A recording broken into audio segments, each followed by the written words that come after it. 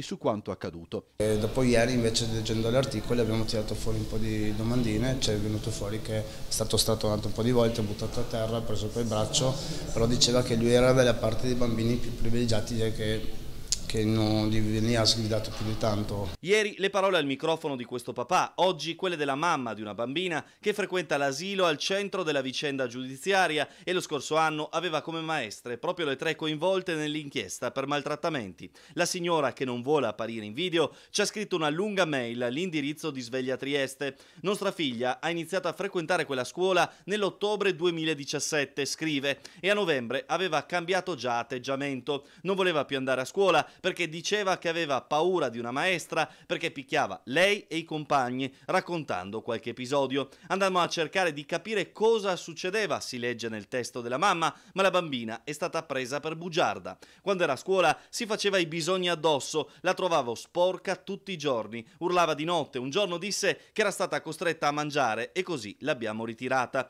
Poi la confessione. Quando ha smesso di frequentare mi disse che un giorno stava poco bene, la maestra la mise in punizione punizione seduta da sola in un angolo senza poter giocare con nessuno. Adesso andremo a fondo in questa storia, aggiunge ancora nella mail, e denunceremo anche noi. Quella volta sembravamo gli unici ad avere problemi e invece apprendo adesso che era tutto vero. Ripeto, andremo a fondo perché per noi i colpevoli non sono solo le maestre, ma tutti quelli che hanno visto e non hanno fatto nulla. Infine, l'ultima precisazione, la classe era attaccata all'ufficio del direttore, sottolinea la madre, quindi non capiamo come non abbia potuto vedere o sentire nulla.